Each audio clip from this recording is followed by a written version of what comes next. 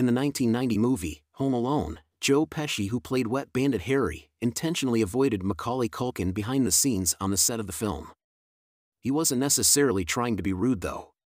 He was trying to use a method style of acting so that Culkin would intentionally be somewhat afraid of him during their scenes together. Pesci in general did not have a lot of experience working with kids and would often curse during the production of the movie. Director Chris Columbus advised Pesci to use the word fridge instead of the F word.